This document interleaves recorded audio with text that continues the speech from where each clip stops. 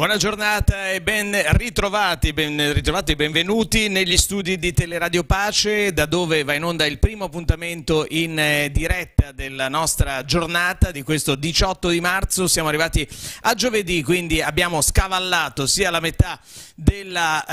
eh, del calendario, cioè la metà del mese, sia la metà della settimana, terza settimana del terzo mese del 2021. Eccoci insieme come ogni mattina dal lunedì al venerdì eh, alle 7 7.30 con la rassegna stampa. Prima di andare a leggere come sempre i quotidiani in edicola questa mattina andiamo a capire, a vedere che giornata sarà e iniziamo con il santo del giorno. Oggi 18 di marzo la Chiesa ricorda e festeggia San Cirillo di Gerusalemme, vescovo e dottore della Chiesa che nacque appunto a Gerusalemme nel 314. Altri santi ricordati oggi, San Salvatore da Horta, San Edoardo, il secondo il martire, re d'Inghilterra, Sant'Alessandro di Gerusalemme, vescovo e martire, eh, Beata Marta Le Bourtier, religiosa, e poi altri santi ricordati oggi, San Braulio, vescovo, Beata Celestina Donati, fondatrice, Sant'Anselmo II di Lucca, vescovo, San Frediano di Lucca, eh, c'è una bellissima chiesa proprio dedicata a lui nel centro di Lucca, e poi Beati Giovanni Tulse e Ruggero Vrenno, martiri, e San Leopardo di Tour, eremita. Auguri a tutti coloro che oggi festeggiano l'onomastico, il compleanno o qualche altra lieta ricorrenza in questo 18 di marzo che si apre ancora con cielo sereno, poco nuvoloso. Però attenzione perché eh, entriamo in una fase particolarmente eh, diciamo così fredda eh, perché abbiamo questo colpo di coda dell'inverno quindi con temperature che scenderanno molto in tutta Italia in particolare sull'Italia settentrionale con la possibilità di nevicate a quote anche abbastanza collinari sulla, sulla pianura padana e nelle altre regioni del nord insomma rimarranno sui 700-800 metri qua in Liguria la quota neve. E poi dobbiamo dire che in Liguria più pioverà anche abbastanza poco tutto sommato in questo weekend, intendendo già da oggi in poi, però oggi potrebbe essere la giornata in cui qualche precipitazione arriva, qualche precipitazione nevosa sui rilievi e qualche precipitazione invece piovosa sulle coste, ma soltanto come sconfinamento, quindi non avremo proprio delle vere piogge eh, insistenti e diciamo così, eh, diffuse, ma avremo invece delle piogge sparse appunto solo come sconfinamento perché in realtà le piogge sono soprattutto previste sui rilievi, parliamo di Alpi Liguri per il ponente e del nostro comparto Avetano e Valtrebbia per quanto riguarda il Levante. E comunque il fine settimana trascorrerà invece in maniera piuttosto asciutta, anche domani non dovrebbe piovere e così anche sabato e domenica, però attenzione perché lo abbiamo già detto da qualche qualche giorno c'è questa nuova ondata di freddo con no notti veramente molto molto eh, gelide, ritorneremo a valori bassissimi. Non è che in questo ultimo periodo di notte abbia fatto molto caldo, diciamoci la verità, perché nonostante eh, abbiamo avuto dei pomeriggi con 18, addirittura 20 gradi l'altro ieri, oggi eh, cioè, nelle notti siamo sempre scesi sulla costa tra i 7 e gli 8 gradi, questa, questa notte anche meno, abbiamo avuto anche i 4 gradi e mezzo, i 5 gradi, eh, questa situazione ancora andrà in calo e quindi avremo nelle notti anche 2-3 gradi sulla costa e temperature negative nel, nell'entroterra. Quindi lo diciamo, bisogna stare attenti perché eh, insomma, eh, diciamo, i malanni di, legati a questi, a questi, raffreddamenti improvvisi eh, sono sempre in agguato, quindi insomma, vestiamoci, non, facciamo, non guardiamo soltanto il calendario, siamo vicinissimi alla primavera, ma eh, assolutamente dobbiamo dobbiamo stare attenti in questo momento storico a non prendere nessun tipo di malanno, nemmeno quelli normali di stagione. Quindi copriamoci, copriamoci più possibile. Nei pomeriggi, tutto sommato, non avremo un'escursione termica enorme, quindi anche oggi pomeriggio non sentiremo più il calore dei giorni scorsi. Arriveremo a 13-14 gradi al massimo, quindi già da oggi inizia questo calo anche nelle temperature eh, massime. La situazione sarà così per tutto il fine settimana, domenica compresa, quindi insomma mettiamoci eh, appunto in questa eh, situazione mentale. Adesso di essere ancora in inverno, insomma. Adesso invece andiamo a vedere la situazione del traffico su strade e autostrade della nostra regione. Sapete la chiusura tra l'allacciamento eh, con la 12 e la 7 in direzione Milano, quindi è chiuso il tratto del collegamento a 7 a 12 e Genova-Bolzaneto. E questo già provoca dei rallentamenti in direzione Genova tra Busale e allacciamento con la 10 perché c'è un'unica corsia con il doppio senso di circolazione, quindi c'è veramente molto, molto caos, code di 3 km perché chi arriva dal Tiguglio, lo sapete, insomma dal, dal Levante, deve per forza poi uscire a Genova Ovest e qui c'è appunto l'ingorgo. andando a ve vedere invece sulla 12 abbiamo già delle situazioni di code, in particolare proprio sul nostro territorio tra Recco e Chiavari in direzione Rosignano abbiamo una coda di un chilometro per lavori e coda di un chilometro anche tra Chiavari e Recco in direzione Genova, quindi in questo tratto è, in entrambe le direzioni è appunto contraddistinto da rallentamenti. Ora, non capisco quando si dice Recco Chiavari, c'è un altro casello di mezzo con un, un, chilometro di coda, che cosa si voglia dire? Le indicazioni di autostrade sono un po' nebulose a volte. Genova Est, allacciamento a 12 a 7, coda di 2 chilometri, appunto già questo è più comprensibile perché dopo Genova Est ci si ferma per, eh, la, per il restringimento di carreggiata e il fatto di dover poi andare in un unico senso, cioè quello di Genova Ovest. Andiamo a vedere anche la 10 con la chiusura del casello di Celle Ligure, questo fino al, al 19, quindi fino a domani compreso, e poi avremo, abbiamo in questo momento una coda di un chilometro tra Savona e Albissola in direzione Genova per lavori e Arenzano Voltre in direzione Genova un chilometro di coda per lavori.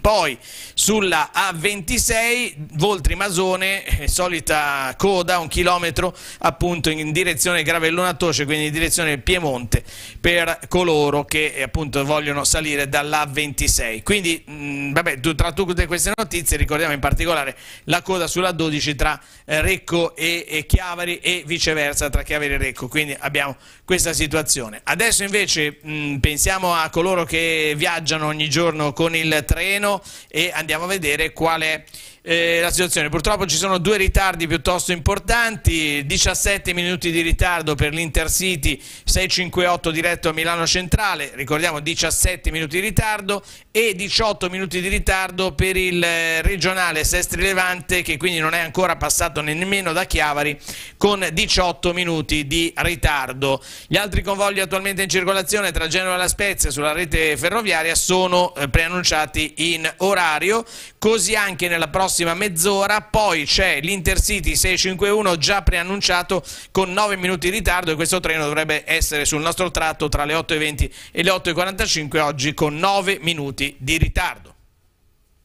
Noi invece non accumuliamo ritardo, andiamo speditamente a vedere la prima pagina di Avvenire di oggi e è una pagina con molti titoli, non c'è un unico grosso titolo a tutta pagina e quindi andiamo a scoprire. Da una parte, eh, forse anche eh, volutamente Avvenire ha messo questa foto che va, già avevamo visto di questa suora inginocchiata eh, proprio verso i, i, soldati, anche i soldati, alcuni di loro si, si mettono in ginocchio ginocchio e il Papa ieri ha proprio citato questa foto dicendo mi inginocchio per la pace in Myanmar, anch'io mi inginocchio per la pace in Myanmar, proprio eh, alludendo a questa suora che era stata eh, più volte fotografata, andava proprio lei in giro da sola per le strade eh, di questo martoriato paese asiatico, proprio implorando la pace ai soldati e dall'altra parte Biden che accende un nuovo, un nuovo, sussulto di guerra, anche se di guerra fredda si tratta,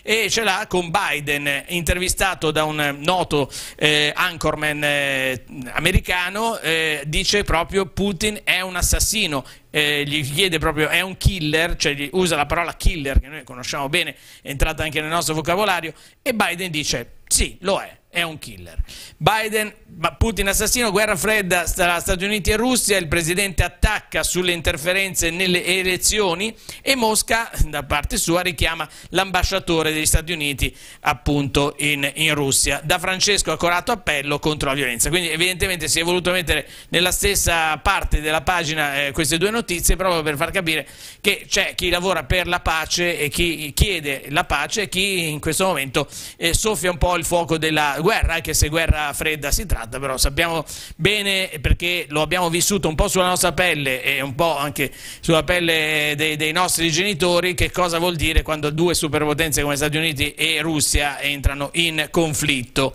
Un pass per tornare a viaggiare l'organismo diciamo superiore di questa vicenda, cioè l'Organizzazione Mondiale della Sanità, dice molti più benefici che rischi per AstraZeneca si prospetta il via libera, però oggi si attende il pronunciamento dell'EMA che ormai mi sembra abbastanza scontato, un ruolo maggiore nelle vaccinazioni farmacie infermieri, balzo dei ricoveri, Draghi oggi sarà a, Ber a Bergamo perché oggi è stata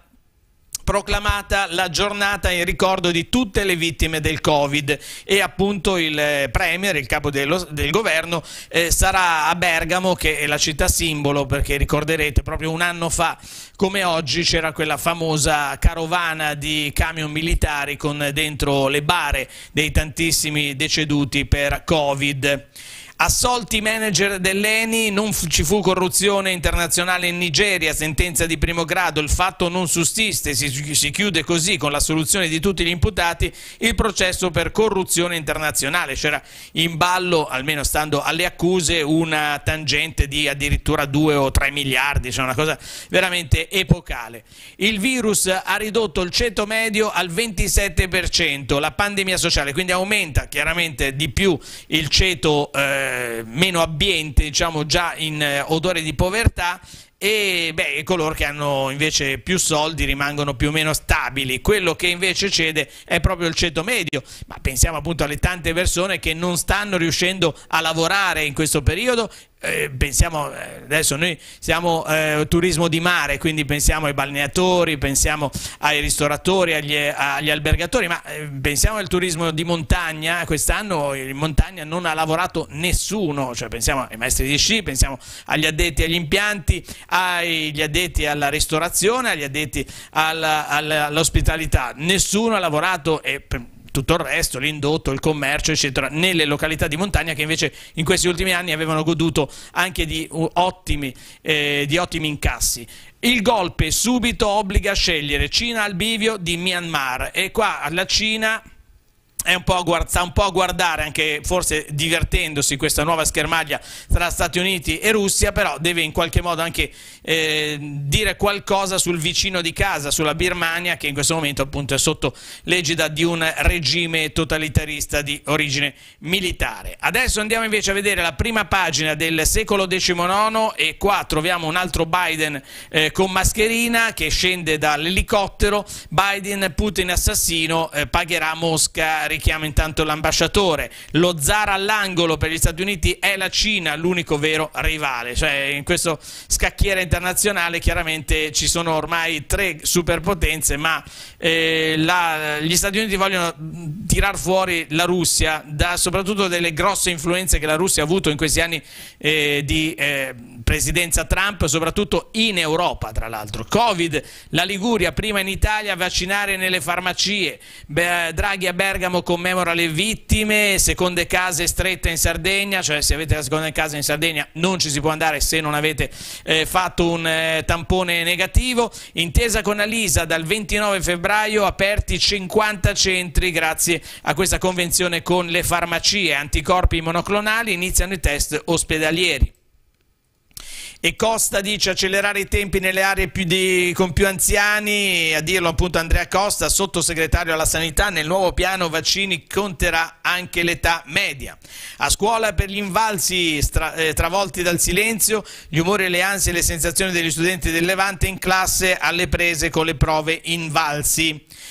E poi andiamo a vedere Carige. Carige ufficiale il divorzio con eh, Cassa Centrale Banca, questa unione delle banche trentine, delle varie casse rurali eh, che c'erano in, eh, in, in, tutto, il Trentino, adesso si sono consorziate in questo Cassa Centrale Banca eh, che doveva avere un ruolo centrale appunto nell'acquisizione di alcune eh, quote de, di maggioranza della Carige, ma così non sarà perché Boccuzzi deluso ma si va avanti, parla il Presidente Presidente dell'Istituto non c'è niente da fare, questo matrimonio come dice non sa da fare e non si farà. Andiamo a vedere sempre dalla prima pagina del secolo XIX lo stratega di Luna Rossa dopo il KO della scorsa notte, cioè di due notti fa, avevamo detto ieri che purtroppo eh, la settima vittoria di New Zealand ha messo la pietra tombale sulle speranze italiane di acciuffare questa American Cup, eh, hanno vinto i più veloci ma abbiamo battagliato sempre, d'altronde erano riusciti ad arrivare ad ad un 3-3 dopo 6 gare è veramente una grande grande prestazione. Generazione Z, il libro di Fulvia Guazzone, ascoltiamo di più i nostri ragazzi e chiediamo quanto sono felici in questo momento credo molto poco. I dubbi che agitano la ricerca del nuovo partner e il commento sulla questione della Carigi. Abbiamo letto un po' tutta la prima pagina del secolo XIX, allora adesso andiamo in particolare a vedere la situazione meteo che ci aspetta per questa e per altre giornate. Mm, come vedete la eh, copertura nuvolosa sta aumentando, quindi da iniziali condizioni di cielo poco nuvoloso andremo invece a condizioni di cielo nuvoloso piano piano e anche coperto durante eh, poi il resto della giornata. Eh, perché? Perché si sta avvicinando questo fronte molto freddo e in un primo tempo attira anche aria molto umida sul nostro territorio. Poi passerà addirittura una perturbazione però molto lontana dalla Liguria, una perturbazione a, a latitudini più basse, parliamo di centro-sud Italia e, e quindi lì ci sarà un weekend piovoso. Da noi invece il weekend sarà piuttosto asciutto ma con temperature piuttosto rigide, anche un pochino sotto la media stagionale del periodo, perché in questo periodo ormai dovremmo essere un po' fuori dal, dal, dal punto più freddo dell'anno e invece ci ritroviamo abbastanza dentro, quindi eh, abbiamo questo colpo di coda dell'inverno che non è così mm, diciamo raro, eh, perché anche l'anno scorso, ricordo, durante il lockdown avevamo avuto dei giorni con temperature molto basse, anzi avevamo avuto i giorni più freddi dell'inverno, per dire la verità, proprio nei giorni del lockdown, quindi eravamo più o meno in questo periodo. E poi ricordiamo altre nevicate che sono arrivate addirittura ad aprile, quindi insomma eh, fino a metà aprile siamo sempre un po' a rischio eh, di questa situazione, di, questi, di, questa invasione di aria fredda. In effetti noi vedremo molto calare le temperature, ma nel pomeriggio eh, ci potrà essere questa situazione che viene riassunta eh, con questo cartello della Limet. Vedete che ci sono nuvole un po' sparse su tutta la Liguria, ma anche qualche occhiata di sole, quindi è una nuvolosità non proprio eh, diciamo um, um, um, appunto uniforme, ecco non mi veniva uniforme, ma eh, sui rilievi la nuvolosità sarà innanzitutto più accentuata, ma ci saranno soprattutto delle precipitazioni sui rilievi che eh, sono in particolare le Alpi Liguri e il comparto Aveto, eh, Aveto Trebbia, quindi in questa parte della Liguria, cioè quindi o l'estremo opponente o il medio levante, avremo delle precipitazioni che saranno nevose al di sopra dei 700 metri, quindi una quota cosiddetta collinare, 700 metri, quindi queste piogge, queste nevicate potranno avere degli sconfinamenti anche sul resto dell'entroterra, innanzitutto quindi anche Val di Vara, anche Val Fontana Buona, Val Graveglia eccetera, ma potrà avere anche uno sconfinamento sulla costa, quindi sulla costa imperiese, parliamo parliamo proprio della riviera ehm, dei fiori, e, eh, e, sulla costa anche del nostro comparto, quindi il, il, Medio Levante, tanto per capirci, anche un po' sullo Spezzino. Qua però saranno solo degli sconfinamenti, quindi una pioggia non particolarmente estesa e non dovrebbe essere neanche di lunga durata. Le precipitazioni maggiori comunque si avranno lo ripetiamo, negli entroterra. I venti al mattino moderati da nord, poi nel pomeriggio la ventilazione sarà debole da nord-est sui rilievi versanti padani, deboli variabili lungo le coste, con mare generalmente poco mosso e temperature in lieve calo, le massime non andranno, come avevamo detto prima, oltre i 13-14 gradi. Situazione prevista per domani, allora domani sarà un'altra giornata abbastanza interlocutoria, con la possibilità di nuvole innanzitutto, di qualche pioggia sul comparto aveto eh, Trebbia che sarà nevosa al di sopra, vi abbiamo detto, dei 600-700 metri, quindi domani addirittura la quota neve si abbassa un pochino, però domani è quasi scongiurato il fenomeno degli sconfinamenti, quindi le piogge e le nevicate rimarranno confinate soltanto sui rilievi più alti, sull'entroterra del Levante, mentre invece pioverà di più a Ponente, Ponente in particolare eh, Savonese occidentale e Imperiese ci saranno piogge anche di una certa eh, durata. Per quanto riguarda invece i venti deboli e moderati da nord-nord-est, mare poco mosso al più mosso al largo e temperature in ulteriore lieve calo. Tanto per farvi capire, sabato avremo questo tipo di giornata, quindi tutto sommato abbastanza soleggiata, qualche precipitazione residua sui rilievi del centro ponente e beh, le temperature saranno sempre molto basse, anzi ancora più basse, quindi attenzione a delle notti veramente molto molto fredde. Andiamo adesso a leggere insieme il secolo XIX nelle pagine del Levante, campagna dei vaccini, farmacia in campo e disdette AstraZeneca. Eh beh, sì, c'è un po' di tutto in questi giorni, chiaramente anche un po' di così, confusione che sta regnando tra le persone che dovevano essere vaccinate, anche la Riviera si prepara alla svolta, si comincerà a fine mese, ecco come eh, appunto ci sono tutte le varie eh, spiegazioni di come avverranno queste eh, campagne vaccinali anche con le farmacie, quindi gli hub eh, dei luoghi a, a, appunto momentanei, i famosi spoke, ma anche i medici di base e anche le farmacie, quindi in effetti sarà una vaccinazione più di massa, diciamo così. Intanto continuano le rinunce dei pazienti eh, per il prodotto anglo-svedese e AstraZeneca, però ricordiamo che l'AstraZeneca è stato il prodotto di punta della campagna no, del, eh, europea, quindi ne abbiamo eh, eh ordinate parecchie dosi e quindi insomma, vedremo che cosa succederà, ma eh, quasi sicuramente da oggi l'EMA darà il eh, via libera al continuo di queste vaccinazioni. Vertice tra Pretaria e i sindacati della CGL, Cisle e Will per fare il punto sulle immunizzazioni. Affrontata anche la riorganizzazione degli ospedali con focus su Sestri e Rapallo. Questo è un momento particolarmente delicato chiaramente per eh, la sanità, abbiamo sempre aumenti anche se diciamo, sul nostro territorio sono molto molto eh, diciamo eh, continui ma eh, senza impennate almeno al momento non ci sono impennate nell'aumento di contagi sono sempre appunto più o meno stabili. Siamo abbiamo detto in Liguria tra i 320 e i 380 poche volte abbiamo sconfinato i 400 ogni giorno. Ed è una curva piuttosto piatta, se si può dire così, non, non c'è né un'ascendenza ma neanche purtroppo una discesa. E, e, anche i malati negli ospedali aumentano, poi diminuiscono, adesso siamo di nuovo a quote piuttosto alte, 47, ricordiamo che eravamo arrivati a 36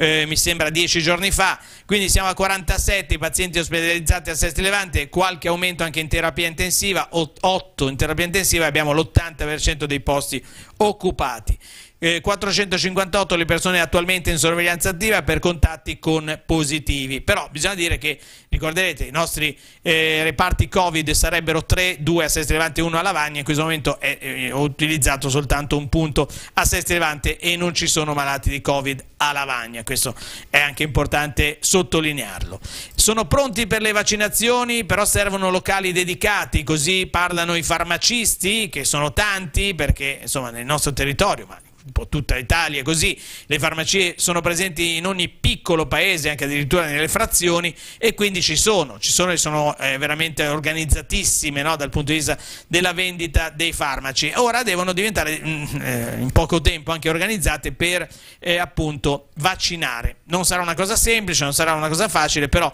ci si può riuscire, questa è una decisione. Tra l'altro la Liguria è una delle eh, regioni pilote dove questo viene in qualche modo sperimentato e quindi quindi sarà tutto da, da imparare, da capire cosa, cosa potrà succedere. Eh, faremo le iniezioni in azienda a tutti i nostri 200 dipendenti, così parla eh, un imprenditore che è particolarmente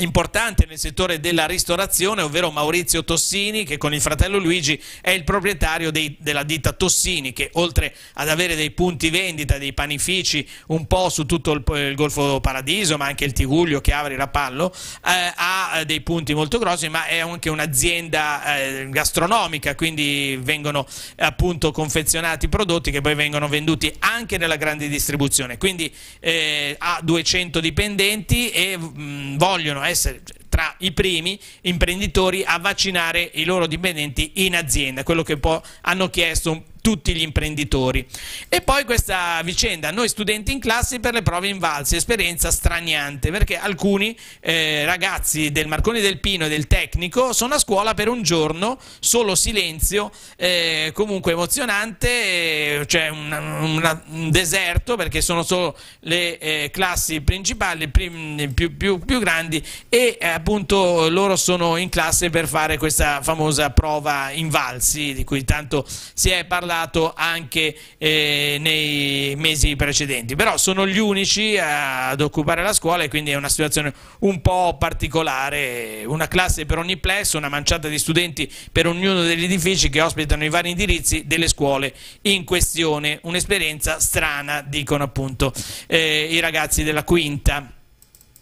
E poi oggi l'omaggio dei comuni alle vittime Covid, come abbiamo detto, non ci sarà soltanto l'omaggio di eh, Draghi a Bergamo, ma ci sarà l'omaggio anche dei vari sindaci un po' in tutte le cittadine del nostro territorio, per esempio eh, appunto a Sesti Levante l'appuntamento sarà alle 10.45 in piazza Matteotti, ma anche a Chiavari eh, ci saranno commemorazioni, a Palazzo Bianco verrà osservato un minuto di silenzio e lo stesso accadrà a Rapallo, a Zoaglio, cioè senza manifestazioni magari esterne, a Santa Margherita Ligure il sindaco Donadoni sarà presente davanti al municipio in piazza Mazzini per osservare un minuto di silenzio, quindi con chiaramente tutti i distanziamenti, ma alcuni eh, amministratori usciranno dai comuni e sosterranno magari davanti alla piazza eh, in, eh, in, commemorazione dei defunti, mentre invece la manifestazione principale si svolge a Bergamo, che è un po' la città simbolo purtroppo dei, eh, delle vittime di Covid. Purtroppo eh, l'incidente, ricorderete, di qualche giorno fa in via Franceschi ha un esito eh, piuttosto eh, drammatico e direi quasi ormai ad un, ad un, unico senso, morte cerebrale per l'imprenditore investito. Il chiavarese Ivo Tiscornia, 63enne, è ricoverato nel reparto rianimazione del San Martino di Genova. I suoi organi saranno donati. L'uomo è stato travolto sulle strisce pedonali da una vettura che faceva retromarcia contromano in via Franceschi a Chiavari Chiavari e la patente della donna al volante dell'auto è stata ritirata dalla polizia locale, insomma una morte eh, di un'altra vittima della strada nel nostro territorio, ma appunto di morte cerebrale si parla al momento, è chiaro che eh, i parenti si stanno preparando al, al peggio. E poi un'altra vittima, questa volta della montagna, l'ospedale ha ricordato Elisa, l'anestesista precipitata sullo Zatta, la tragedia in montagna domenica, ne sappiamo ormai tutti i particolari e appunto anche l'ospedale dove eh, Elisa eh, Martina Enrile eh, appunto lavorava ha eh, ricordato il Policlinico di San Martino di Genova, ha ricordato la ragazza con, eh, con un minuto di silenzio e con tante lacrime dei suoi, dei suoi colleghi. Addio anche a Duca Canevaro, deceduto a Firenze, alla salma portata a Zoagli, molti magari lo hanno conosciuto, Emanuele Canevaro, l'ultimo duca eh, di, di, Zoagli, che comunque abitava nel suo castello in alcuni momenti, e, beh, purtroppo è deceduto ed è deceduto a Firenze, ma la sua salma sarà portata appunto a Zoagli e beh, la sua vita è legata a doppio filo con il piccolo paese del Tiguglio e qua ci sono state anche nel suo castello parecchie eh, manifestazioni. Qua si ricordano per esempio nel 2012 eh, con un concerto del grande Greg Lake, il mitico bassista e cantante dei King Crimson e del famoso trio Emerson, Lake and Palmer, eh, che proprio nel suo castello di Zoagli, nel castello Canevaro, ha tenuto un concerto, una cosa veramente un po' particolare, ricevendo anche la cittadinanza onoraria di eh, Zoagli. Comunque il eh, per questo appunto il, il Duca Canevaro sarà riportato poi a eh, Zoagli per eh, diciamo, l'ultima, sua eh, sede. Poi è scomparso Riccia, Riccardi, ambulante del mercato, eh, oggi pomeriggio alle 15.30 nella parrocchia di Santa Maria Madre della Chiesa in corso Genova Lavagna il funerale di Roberto Riccardi, ambulante 72enne eh, che appunto è deceduto nei giorni scorsi. Piazza Mazzini, poi c'è una raccolta di sangue straordinaria domenica prossima tra le 8.30 e le 12.30, ma noi adesso lasciamo la linea alla Radio Vaticana per ascoltare insieme il GR delle 8, poi ritorneremo per la seconda edizione tra 10 minuti. Buon ascolto a tutti.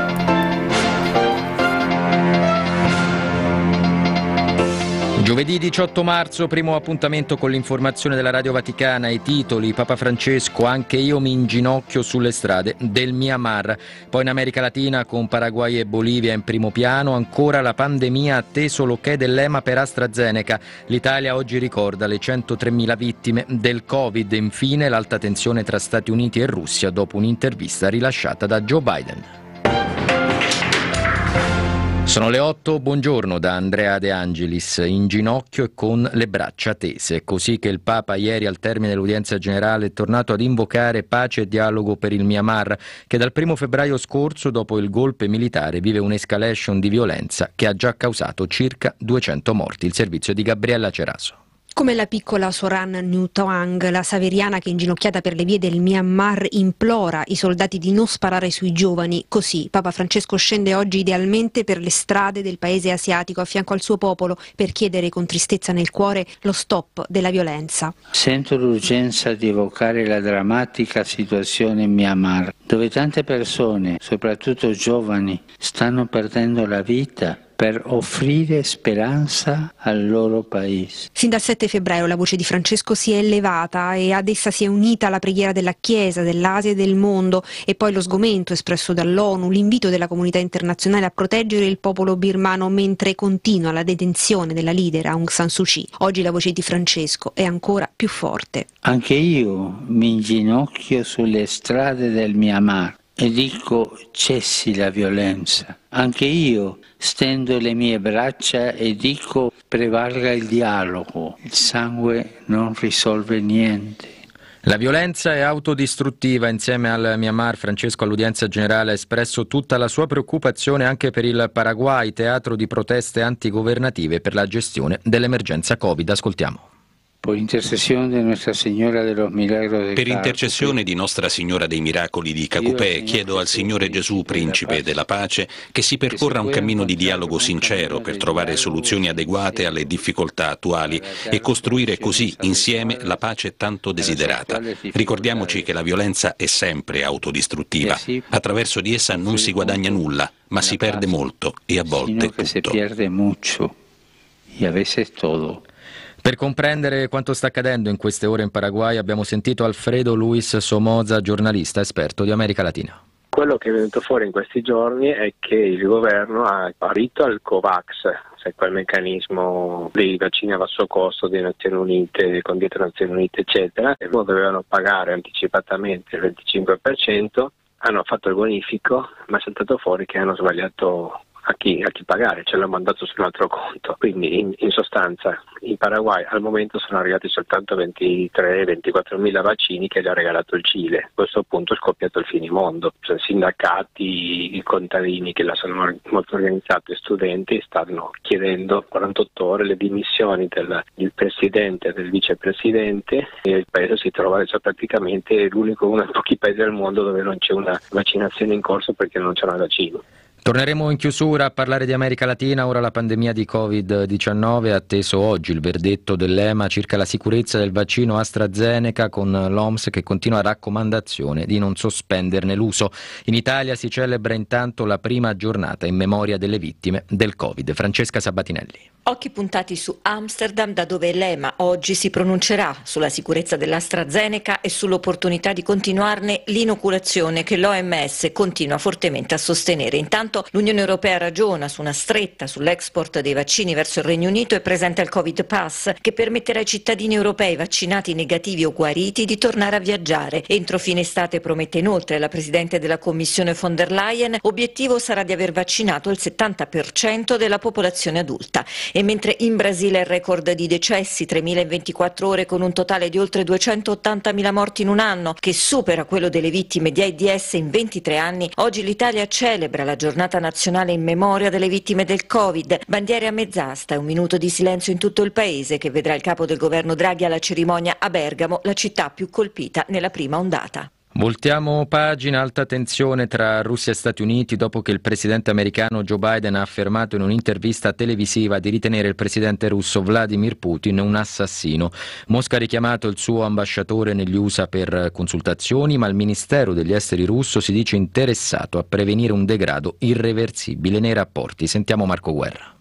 Lei conosce Putin? Pensa che sia un assassino? A questa domanda rivolta dall'intervistatore di ABC Biden ha risposto sì lo penso aggiungendo che il leader del Cremlino pagherà un prezzo per aver tentato di influenzare le elezioni presidenziali del 2020. Biden lascia però spiraglia la cooperazione su questioni cruciali come gli accordi sugli armamenti. I commenti dell'inquilino della Casa Bianca arrivano all'indomani della diffusione del rapporto dell'intelligence USA secondo cui Putin autorizzò le operazioni per denigrare Biden e aiutare il suo rivale Trump. Immediate le reazioni aggressioni dalla Russia. Putin è il nostro presidente e gli attacchi contro di lui sono attacchi alla Russia, è la replica del presidente della Duma. Più cauto il portavoce del ministro degli esteri. La cosa principale, afferma, è capire se si possono migliorare le relazioni russo-americane, che sono in una condizione difficile. I missili balistici e nucleari nordcoreani sono una priorità per USA e Corea del Sud, avendo l'impegno condiviso ad affrontare e risolvere la questione. La dichiarazione congiunta al termine del 2 più 2, il meeting di Seoul tra i ministri degli esteri e della difesa sudcoreani e le controparti americane,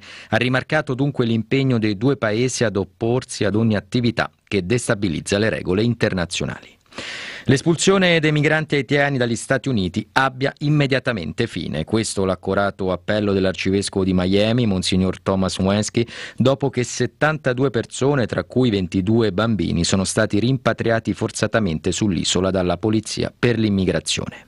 Ci spostiamo nel continente africano, ancora violenze in Niger. Nei giorni scorsi gruppi armati hanno ucciso oltre 50 civili nel corso di diversi attacchi a un autobus e ad alcuni villaggi nella regione di Tillaberi, al confine con Mali e Burkina Faso. Elvira Aragosta ha raggiunto telefonicamente Morena Zucchelli, capo missione di Copi nel paese saheliano. Gli attacchi sono più violenti in questo periodo perché deve finire il processo elettorale, fanno comunque seguito a un grosso problema dello Stato islamico. Questo continua un po' nella logica della destabilizzare il paese, no? sono tutti attacchi che vengono in questo caso dal Mali, non sono ancora stati rivendicati ufficialmente. Perché vengono colpiti i civili? A volte sono proprio perché hanno dato le indicazioni di non andare a votare e la popolazione è andata a votare, oppure perché hanno riaperto una scuola e i gruppi armati non vogliono che si riaprano le scuole che fanno una formazione all'occidentale, ma normalmente sono proprio legati a pagamenti di fondi che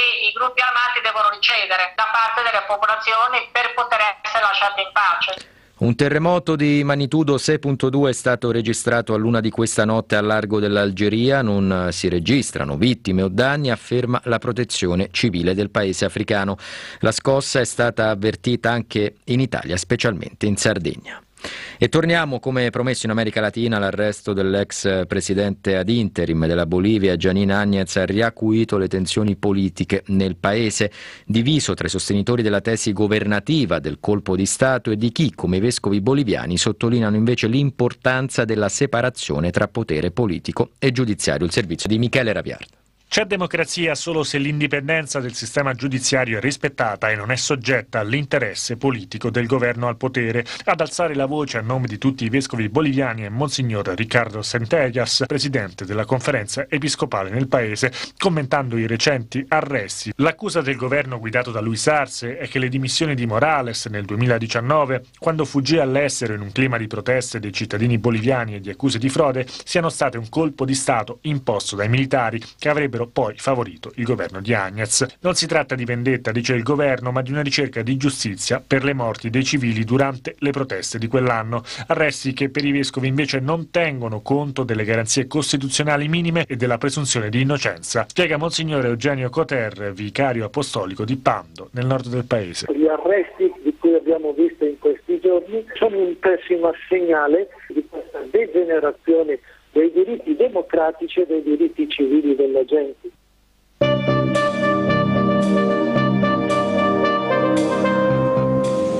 È tutto per ora, vi ricordiamo che è possibile ascoltare questo radiogiornale oltre che in diretta anche in podcast attraverso le nostre app Radio Vaticana e Vatican News. Da Andrea De Angelis in regia da Mario Scatton, grazie per l'ascolto. Tra un minuto il buongiorno di Radio Vaticana con voi.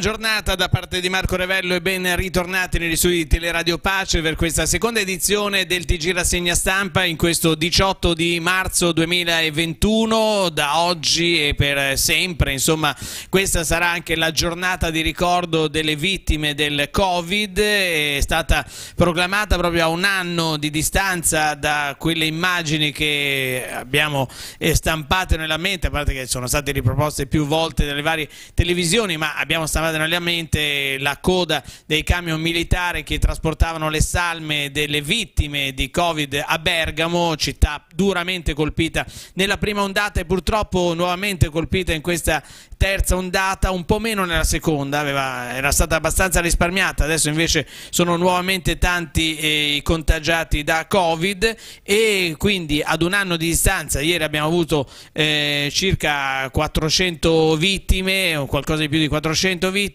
e ogni giorno purtroppo il bollettino di coloro che ci lasciano appunto per le conseguenze del, del Covid è sempre troppo, troppo numeroso. Eh, come sapete l'Italia è una delle eh, nazioni dove per prima si è iniziata a morire molto pesantemente di Covid, poi eh, ci hanno battuto altre eh, nazioni che sono arrivate ben dopo l'Italia, tra cui la Gran Bretagna sicuramente, ma anche altre eh, nazioni europee. Oggi si ricordano le vittime eh, del Covid, lo si fa con una manifestazione ufficiale di Stato e alla presenza del Premier Draghi a Bergamo, ma si fa un po' in tutti i comuni, come leggeremo tra poco sui quotidiani. Oggi però è una giornata in cui la Chiesa ricorda e festeggia anche eh, San Cirillo di Gerusalemme, vescovo e dottore della Chiesa, che nacque appunto a Gerusalemme nel 314 d.C.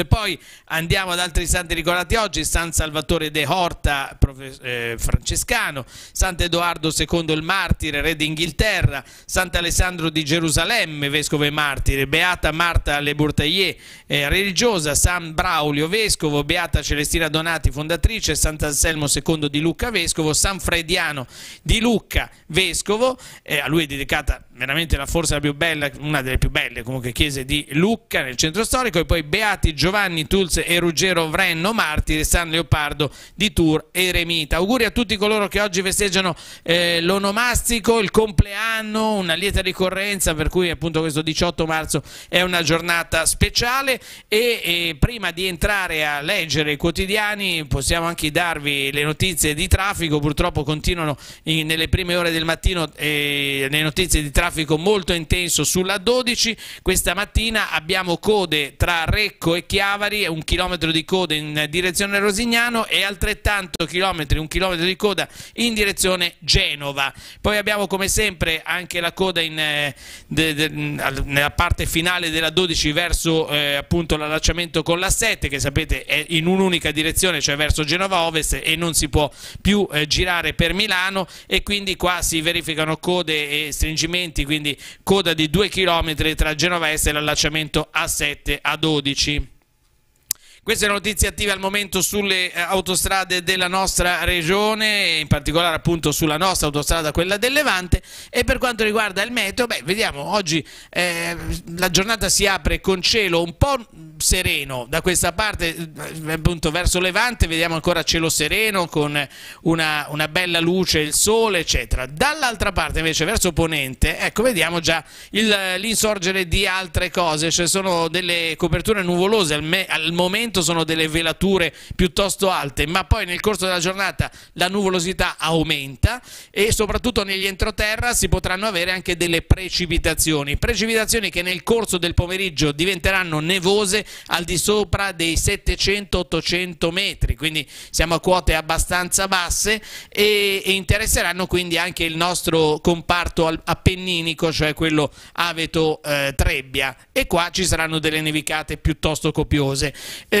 le piogge potranno sconfinare anche nel resto dell'entroterra, quindi nelle altre vallate, ma raggiungere anche la costa eh, lievemente, marginalmente. Quindi potremo avere un pomeriggio eh, con qualche precipitazione qui sul Levante e anche nell'Imperiese. Per il resto della regione il tempo sarà abbastanza asciutto, però sarà molto probabilmente l'unico episodio eh, diciamo di maltempo legato a questa discesa di aria molto fredda che da oggi inizierà ad interessare la nostra regione. Quindi quindi aspettiamoci comunque un fine settimana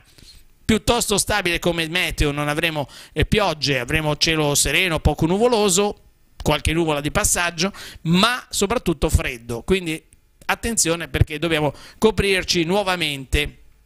Adesso invece passiamo a leggere i quotidiani di Edicola questa mattina. Come sapete ieri in un'intervista, così tra l'usco e il brusco, come si dice, Biden ha sganciato una bella bomba, una bomba ehm, che insomma eh, si, si, sapeva che prima o poi sarebbe stata lanciata da Biden nei confronti eh, dell'omologo russo mh, Putin, perché Sappiamo che Putin aveva delle grosse simpatie per l'avversario di Biden, ovvero Trump, insomma è abbastanza risaputo questo. E infatti oggi su Avvenire troviamo Biden dice Putin è un assassino, guerra fredda Stati Uniti-Russia, si ritorna alla tensione, alla grande tensione con la minaccia anche di armi nucleari? Non lo sappiamo. Intanto il Presidente attacca sulle interferenze nelle elezioni e Mosca richiama in patria l'ambasciatore eh, appunto americano, eh, cioè in America, da Francesco invece l'accorato appello contro la violenza, cioè nello stesso giorno parole di guerra e parole di pace.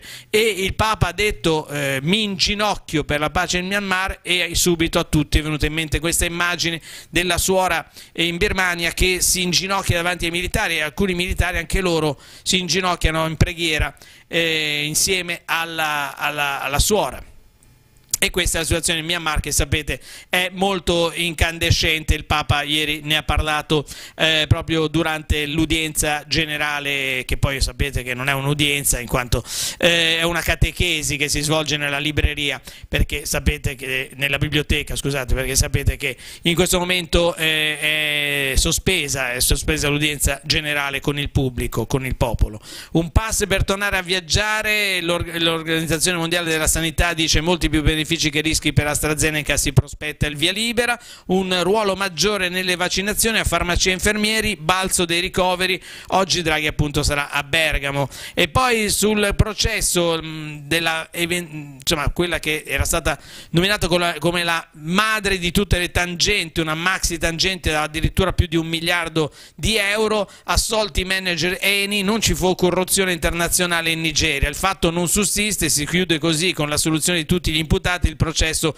per corruzione internazionale. Questa è la sentenza di primo grado. Il virus ha ridotto il ceto medio del 27 al 27%, la pandemia sociale quindi è, una, è un contagio diciamo, della povertà in pratica che sta purtroppo attecchendo e attaccando anche delle fasce di popolazione che erano diciamo quelli abbastanza benestanti, il famoso ceto medio, eh, sì, si tratta sicuramente di imprenditori legati al turismo, alla ristorazione, al commercio, al terziario in genere che in questa eh, pandemia veramente è stata la vittima eh, economica. Il golpe subito obbliga a scegliere Cina al bivio di Myanmar, l'editoriale a firma di Pio Delia.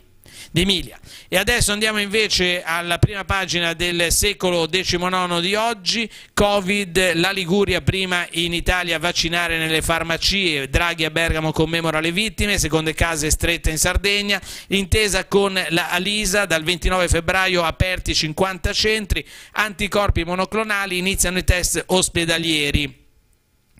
Eh, Costa, il mm, sottosegretario alla sanità Andrea Costa dice accelerare i tempi nelle aree con più anziani, quindi la Liguria sicuramente è una di queste. Nel Tiguglio a scuola per gli invalsi stravolti, anzi travolti dal silenzio, soltanto i ragazzi delle quinte classi sono entrati una classe alla volta nei plessi scolastici per fare questa prova invalsi. E poi ancora pubblico impiego perché servono i dottori di ricerca, eh, l'intervento di Luigi Nicolais e poi poi c'è la vicenda internazionale, le accuse di Putin alla domanda, ma mh, mm, eh, scusate, le accuse di Biden a Putin alla domanda ma Putin è un killer, cioè proprio un killer tipo Donato Binancia? E, e appunto eh, Biden dice sì, lo è. E Biden eh, appunto dice Putin assassino pagherà Mosca e pagherà per quello che ha fatto e Mosca intanto richiama l'ambasciatore. Lo zar all'angolo per gli Stati Uniti e la Cina l'unico vero rivale, l'analisi di Gianni Riotto. Quindi insomma si vuole mettere fuori, fuori, gioco la Russia per giocare poi la partita decisiva con la Cina, secondo eh, quanti sono i, gli osservatori internazionali. D'altronde gli Stati Uniti di Trump erano un po' marginali no, nella politica internazionale, per non dire quasi assenti. E poi andiamo invece a, non, non, torniamo ad avvenire, andiamo invece a vedere la situazione della Carige, nuovamente la Carige è senza partner, sapete che la Carige in qualche modo cerca una partnership forte per continuare a, ad esistere e anche addirittura a svilupparsi, eh, però non sa da fare il matrimonio con Cassa Centrale Banca, che è l'insieme delle casse rurali, delle banche popolari del Trentino, quindi una zona particolarmente ricca che insomma poteva venire in aiuto aiuto della Carige. È ufficiale il divorzio da Cassa Centrale Banca. Bocuzzi, presidente dell'istituto, dice sono deluso ma si va avanti. E il commento e siamo di nuovo su Avvenire, oggi Avvenire vuole tornare protagonista. E il commento di Francesco Ferrari, i dubbi che agitano la ricerca del nuovo partner. Ancora sulla prima pagina del secolo XIX eh, troviamo Sibello, hanno vinto i più veloci ma abbiamo sbagliato, ma abbiamo battagliato sempre, parlano appunto eh, da Luna Rossa, lo stratega dopo il KO del, eh, del 7 a 3, però insomma vogliamo ricordare che Luna Rossa ha ben eh, saputo resistere nelle prime sei gare eh, portandosi a casa un 3 a 3 importante che poi purtroppo in una notte è stato un po' fumato però, però insomma ha resistito finché ha potuto eh, Generazione Z, il libro di Fulvia Guazzone, ascoltiamo di più i nostri ragazzi e chiediamoci quanto sono felici. Va bene, questa è la prima pagina del secolo XIX, ma eh, è chiaro, eh, la questione che ha tenuto e tiene anche oggi, eh, desta l'attenzione sempre sui vaccini. Oggi dovrebbe arrivare la dichiarazione ufficiale dell'EMA sulla possibilità che il vaccino AstraZeneca sia eh, appunto eh,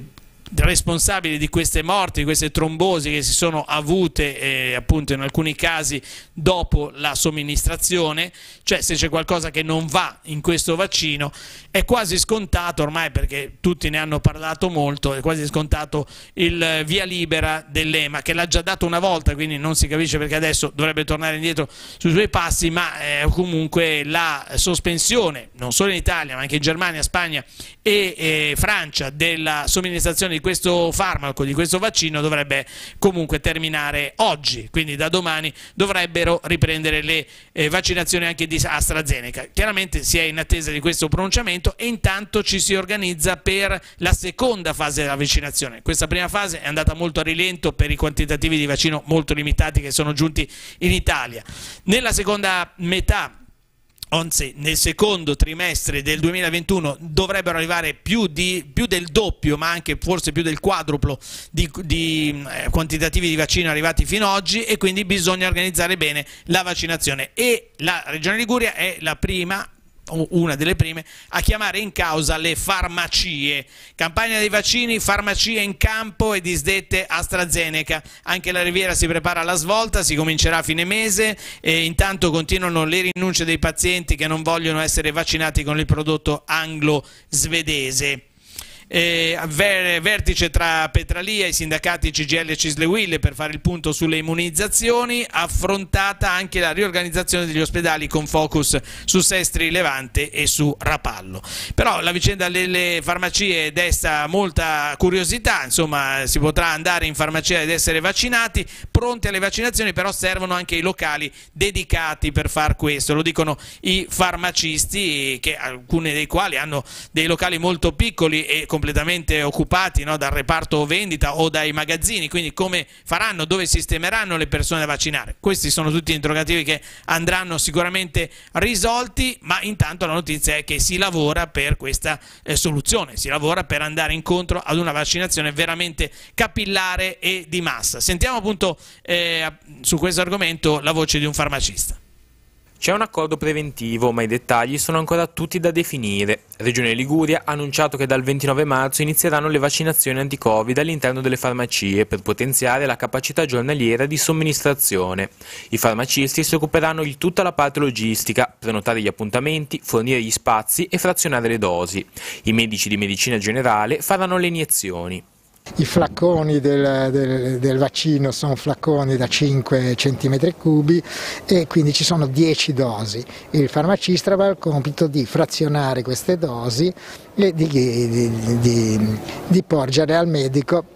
per fare la vaccinazione. Le farmacie gestiranno le dosi di AstraZeneca e di Johnson Johnson una volta che sarà approvato, gli unici finora conservabili in normali frigoriferi. I protocolli sono ancora da definire e gli incontri tra Federfarm e Regione proseguono. In particolare, i farmacisti chiedono con che modalità dovrà avvenire il frazionamento delle dosi e come dovranno essere adeguati i locali, con spazi per l'attesa pre e post vaccinazione. Stabiliti i protocolli si potrà sapere quante farmacie potranno aderire. È un sistema che deve ancora essere messo in, in pista. Per quel che posso pensare io, il 29 marzo indicato dalla Regione mi sembra un tempo molto molto stretto perché se anche uno deve adeguare i locali con le poltrone, i lettini o tutte queste cose qua, non è una cosa che si fa in due giorni. I farmacisti chiedono anche che sia siglato un accordo sulle responsabilità di tipo assicurativo legate sia alla gestione che alla somministrazione. In questo momento eh, noi già abbiamo delle assicurazioni che coprono i dipendenti per, eh, per il Covid. Eh, bisognerà eh, vedere se, se, si potrà allargare questa assicurazione eh, anche ai a chi si occupa dei vaccini, ecco, quindi questo è una cosa importante. Che... Il Presidente di Regione Giovanni Totti ha detto di attendersi l'adesione di 50 farmacie in Liguria e che il sistema, una volta a regime, porterà dalle 2.500 alle 3.000 vaccinazioni. Il rapporto sarebbe di un centinaio di dosi al giorno in ogni negozio, domeniche escluse. Allora, noi ritorniamo sul secolo XIX e qualcuno appunto in particolare tutti gli imprenditori vorrebbero, eh, vorrebbero, che le vaccinazioni avvenissero anche nei luoghi di lavoro, eh, è stata proprio una richiesta ufficiale no, di, eh, degli imprenditori, soprattutto di coloro che hanno i grossi stabilimenti, Arinox, Elex nel nostro territorio, però anche le aziende medio-grandi si stanno organizzando per poter vaccinare al loro interno i loro dipendenti. E oggi il secolo riporta anche l'imprenditore Maurizio Tossini che con il fratello Luigi è il titolare appunto dell'azienda Tossini che ha diversi punti vendita anche sul nostro territorio, ma soprattutto produzioni di prodotti, eh, appunto, eh, prodotti gastronomici e faremo le iniezioni in azienda a tutti i nostri 200 dipendenti, quindi si stanno già organizzando. E poi nella giornata di ieri sono iniziati i cosiddetti esami invalsi, le prove invalsi e, e alcuni, alcune classi dei vari istituti sono entrati una alla volta negli, nei plessi vuoti che in questi giorni sapete sapete che le scuole superiori sono in didattica a distanza. Alcuni ragazzi del Marconi del Pino e del Tecnico a scuola per un giorno, solo in silenzio, comunque è stato emozionante, la prof dice ma che deserto, è un'esperienza anche questa eh, particolare eh, vissuta dai ragazzi delle scuole quinte. E poi come detto oggi è la giornata delle vittime del Covid, l'omaggio di Draghi a Bergamo, ma nel loro piccolo, nel loro comune, anche i sindaci del nostro territorio faranno un analogo eh, appunto momento di omaggio alle vittime del Covid, alle 10.45 in piazza Matteotti a Sestri Levante, ma anche a Chiavari in Palazzo Bianco, cioè nella sede del comune, Rapallo, Zoagli e a Santa Margherita dove il sindaco Paolo Donadoni eh, scenderà davanti al municipio in piazza Mazzini per osservare anche lui un minuto di silenzio. Quindi nessuna manifestazione diciamo ufficiale, però questi momenti di raccoglimento in forma comunque eh, non privata ma ufficiale da parte dei sindaci del territorio, degli amministratori. Beh, adesso ci colleghiamo in redazione dove vediamo già pronto per noi Andrea Capitani. Buongiorno Andrea. Buongiorno Marco, buongiorno a tutti. Eh, rimaniamo in tema di politica amministrativa, eh, legata sempre anche al discorso vaccinazioni, perché eh, siamo a Chiavari perché il Comune ha rinnovato il protocollo d'intesa con diverse associazioni di volontariato, in particolare tre, ovvero il Radio Club Levante, la Croce Verde Chiavarese e l'Associazione Nazionale Carabinieri. Proprio quest'ultima eh, sarà i volontari volontari saranno impiegati per eh, gestire il flusso delle persone che andranno a vaccinarsi all'Auditorium San Francesco. Qui infatti la ASL ha intenzione di potenziare le linee di vaccinazione, al momento sono in tre in contemporanea, verranno eh, raddoppiati, questo è quello che ha annunciato la ASL in conferenza dei sindaci, quindi ci sarà un maggiore afflusso di persone all'interno dei locali, del locale dell'Auditorium San Francesco e per gestirli saranno chiamati anche in aiuto i volontari del dell'Associazione Nazionale Carabinieri. Tutte le altre realtà comunque non saranno escluse e continueranno a svolgere il loro ruolo in città per eh, aiutare in diversi aspetti, dal eh, controllo delle spiagge in quest'estate, anche come lo scorso anno verranno in, utilizzati i volontari per evitare gli assembramenti, ma anche tutti i giorni eh, i volontari aiutano i ragazzi eh, ad attraversare negli attraversamenti pedonali in prossimità delle scuole, apriranno, continueranno poi ad aprire i parchi cittadini e quant'altro. Ne abbiamo parlato con il sindaco, un protocollo viene, eh, d'intesa che viene rinnovato per un ulteriore anno per un maggiore eh, coinvolgimento comunque di queste realtà nel tessuto sociale cittadino. Vediamo il servizio. La collaborazione con l'amministrazione nella gestione delle allerte meteo, ma anche compiti quotidiani come le aperture dei parchi cittadini, il presidio degli attraversamenti pedonali in orario scolastico, il controllo del rispetto delle norme anti-assembramento e in ultimo la gestione dei flussi di persone nell'hub vaccinale dell'Auditorium San Francesco. Il Comune di Chiavari ha rinnovato per tutto il 2021 la convenzione con le tre associazioni di protezione civile e volontariato del territorio, la Croce Verde Chiavarese, il Radio Club Levante e l'Associazione Nazionale Carabinieri. Carabinieri. Per tutto l'anno 2021 affiancheranno l'amministrazione comunale nella gestione delle allerte meteo, nell'apertura dei COC, ma anche per tutti i monitoraggi che dobbiamo fare, soprattutto anche nella, nella, sia adesso nella campagna vaccinazione, ma anche per dei controlli che verranno fatti quest'estate come, come la passata per le spiagge sicure con l'Associazione Nazionale Carabinieri, tutti i pattugliamenti che vengono fatti per evitare assembramenti. Una collaborazione che è stata particolarmente apprezzata anche nella gestione degli ingressi delle scuole, con gli stanziamenti e quant'altro, è stato confermato comunque questa attività. Questa attività viene confermata anche quella dell'apertura dei parchi e giardini, sempre con la Croce Verde, un grande ausilio per la sicurezza di tutti. Noi sanifichiamo tutti i giochi, de, giochi pubblici, parchi eh, ogni giorno facciamo anche l'apertura dei bagni pubblici dal primo di marzo fino a fine anno saranno aperti e saranno presidiati con le igienizzazioni previste dalla legge per, ehm, per, la sanificazione di tutti questi locali, un impegno di circa 46 mila euro. Ci saranno anche controlli, mm, non sempre si rispetta la disciplina anticontagio con assembramenti e quant'altro, anche in questo caso l'Associazione Nazionale Carabinieri eh, scenderà in campo per garantire il rispetto di queste disposizioni. Sì, scenderà in campo per garantire il rispetto di queste disposizioni invitando la cittadinanza a rispettare le norme. Faranno pattugliamenti anche durante il mercato settimanale con, con i mercati quelli mensili eh, qualora si possano svolgere in base alle condizioni delle, delle zone gialle o rosse o arancioni che, che ci, si susseguiranno nel futuro.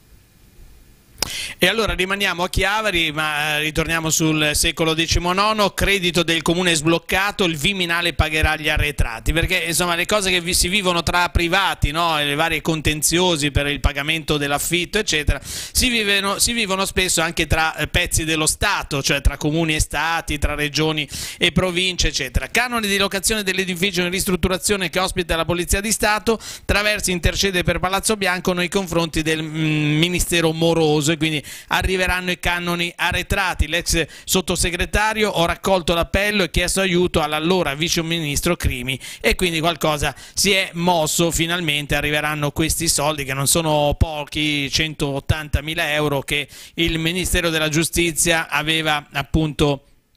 eh, ehm, appunto non aveva mai eh, riscosso il comune di eh, Chiavari. E poi ancora Filcams CGL chiarezza nell'appalto ristorazione della casa dei marinai lo, chiede appunto, lo chiedono appunto i sindacati. E ancora erogazione bonus affitti fondi in arrivo e proteste sui ritardi sia a Chiavari che a Recco come vedete spesso appunto si fanno i bandi di stanziamenti, poi magari non arrivano i soldi proprio fisicamente. Festa della primavera, falò trasmesso sul web quest'anno a Santa Margherita, domani è San Giuseppe, quindi il falò di San Giuseppe tradizionalmente spostato alla prima domenica successiva, quest'anno sarebbe proprio il 20 eh, di marzo, ci sarà ma non sarà, non sarà possibile andarlo a vedere dal vivo pubblicamente perché sarà fatto anche in orari serali, quindi in orari che poi eh, ci saranno anche i, so i coprifuoco eccetera. E, e quindi se, si potrà seguire sul web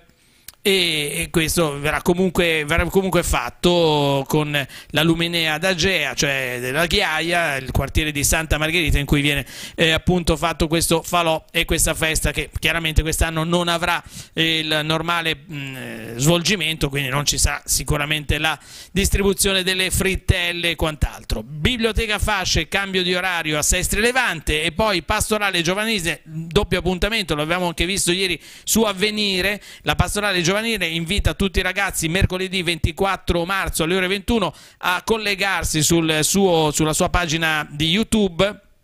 per seguire in diretta l'incontro con padre Bernardo Gianni, monaco eh, seguitissimo sui social network. E poi domenica alle ore 18, domenica 28 marzo però alle ore 18, lavoro di condivisione, riflessione e personale sul tema proposto. Quindi 24 e 28 marzo due appuntamenti per tutti i ragazzi eh, organizzato appunto dalla pastorale giovanile della diocesi di Chiavari. Naturalmente anche questo viene fatto online e non mm, di persona per le famose, eh, le famose eh, normative. Poi crollo del cimitero di Camogli, andiamo a vedere le notizie che oggi riporta il secolo su questo eh, tristissimo fatto, nuovi loculi prefabbricati, un elicottero trasporta il materiale, il programma dei lavori, messaggi di solidarietà al sindaco.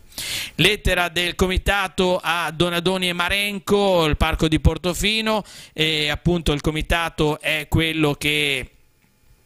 eh, tutti per il parco, guidato da Alberto Girani, già direttore dell'ente, che torna all'attacco con una lettera aperta. Cos'è stato fatto durante il commissariamento per la riapertura e la gestione della locanda del parco a San Fruttuoso e per l'acquisizione della casa dell'Arco? Si chiede appunto il comitato. E poi l'omaggio di Bizzarri al regista Sciaccaluga sul bando social. Luca Bizzarri, il famoso eh, Luca di Luca e Paolo, eh, sarà appunto domani, eh, da domani in poi sul sito del, dell'associazione Il Bandolo di Chiavari e parlerà soprattutto di Marco Sciaccaluga, regista in forza al Teatro Stabile di Genova per tantissimi anni, insomma ha fatto la storia di questi ultimi 50 anni di teatro a Genova e purtroppo è mancato nei giorni scorsi. Gratte Vinci eh, 10.000 euro a Santa Margherita Ligure e poi eh, risotto all'economica domani la conversazione sugli errori di Dante, perché Dante nella sua vita ha fatto anche qualche errore, quindi è giusto anche metterlo in risalto, anche questo incontro naturalmente sarà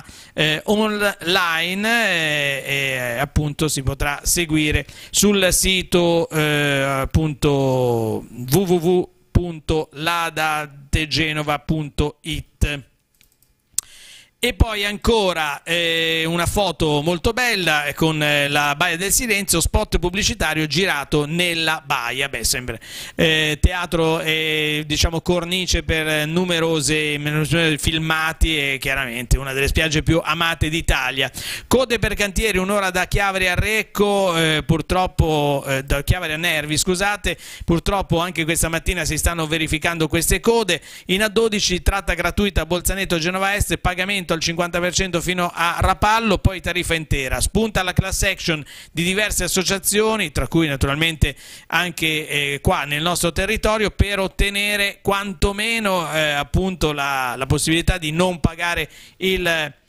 il, eh, il pedaggio e poi anche per i danni che questa situazione sta causando all'intero territorio. E poi ancora sopra la croce, ok, ancora senso unico invece alla Scoglina, quindi ritorna completamente agibile la strada per sopra la croce, eh, in, eh, appunto in Valle Sturla, mentre invece alla Scoglina ancora senso unico per quella caduta di questo masso piuttosto grosso che vediamo nella foto, eh, c'è lo spazio per passaggio delle auto, però si continua anche a lavorare eh, sul versante per metterlo maggiormente in sicurezza. Santa Portofino lavori sulla strada anche a Pasqua, anche perché Pasqua comunque sarà in zona rossa eh, per tutti noi e quindi gli spostamenti eh, da e per la riviera saranno veramente molto molto pochi. Antonio Panella inventa il teatro postale direttamente sulla tua mail. E beh, insomma, gli attori e diciamo così i cantanti e tutti coloro che tutti coloro che operano nel mondo dello spettacolo devono fare in modo di continuare la loro attività senza poter fare eventi live con la presenza di pubblico. Caso miniere, vogliamo saperne di più. Eh, appunto ieri è arrivato sul secolo questa notizia che un'azienda importante australiana sarebbe interessata a fare degli scavi eh, su, in alcune locazioni, tra cui anche eh, la Val Graveglia. Interesse di Alta Zinc per, se, per i siti del Levante, lunedì incontro tra i sindaci e la regione, molti interrogativi del territorio. Questi siti minerari sarebbero eh, nel comune di Ne, a Mo, sul cosiddetto Monte Bianco, Gambatesa, Reppia, Monte Bardeneto, e poi su Sesti Levante, Libiola, Monte Loreto, Bargone a Casarza Ligure, Gallinaria, Campegli sempre eh, in Val Petronio ma a Castiglione Chiavarese e Molin Cornaio a Maisana. Cioè lì la, l'Alta Zin che vuole vedere se ci sono dei minerali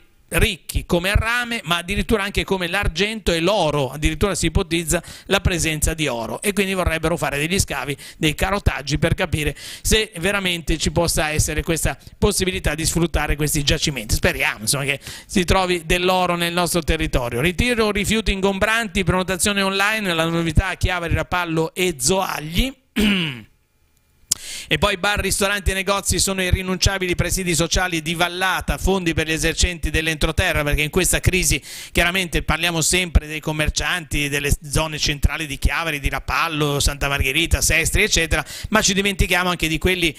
ancora più eh, danneggiati dell'entroterra perché pensate che in zona arancione nessuno dalla costa può andare nell'entroterra. Questi, questi negozi che vivevano soprattutto e vivono soprattutto dell'arrivo di tante persone dalla riviera eh, rischiano davvero la chiusura. Quindi c'è la richiesta che queste queste attività abbiano i fondi pubblici per poter continuare a resistere perché non sono soltanto negozi ma sono presidi di socialità, questo lo diciamo da sempre, i negozi di vicinato o comunque dei negozi di paese non sono soltanto dei punti dove si compra si acquista eccetera ma anche dei punti di incontro, dei punti vivi dove c'è la presenza fisica delle persone, poi se no i paesi e le città e le frazioni diventano solo dei dormitori, questa è un po' la differenza. Orecchia resta presidente ma guarda pure alla politica, la chiave di scherma rinnova il il direttivo e l'ex eh, assessore chiavarese Nicola Orecchio ne diventa appunto presidente.